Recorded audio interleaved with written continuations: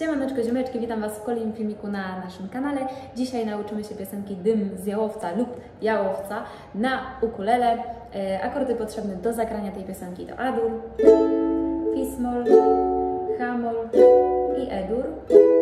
E, no i bicie to dwa razy na dół, dwa razy do góry, raz na dół i raz do góry. Zwrotkę zaczynamy od akordu A-dur i gramy go raz. Fis,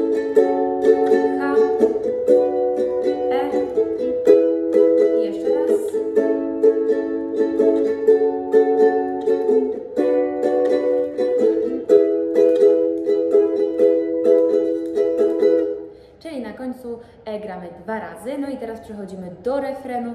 Refren gramy dokładnie na tych samych akordach co zwrotkę, czyli A, Fis, H, E trzy razy. Yy, I później znowu gramy A i Fis na pełnym biciu.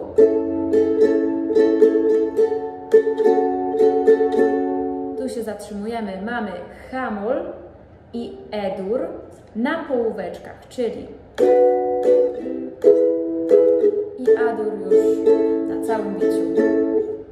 No to w takim razie próbujemy sobie zaśpiewać. Dym z jałowca